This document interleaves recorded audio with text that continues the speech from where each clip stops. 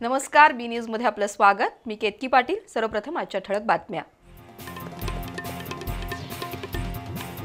पावसाचा जोर ओसरल्यानं महापुराचा विळखा पडलेल्या कोल्हापूरला दिलासा. संथ गतीनं पाणी उतरून पंचगंगेची राजाराम बंधाऱ्यावरील पाणी पातळी सत्तेचाळीस फूट एक इंचावर पंच्याऐंशी बंधारे पाण्याखाली. पावसाचा जोर ओसरला असला तरी शहरात पूर परिस्थिती कायम.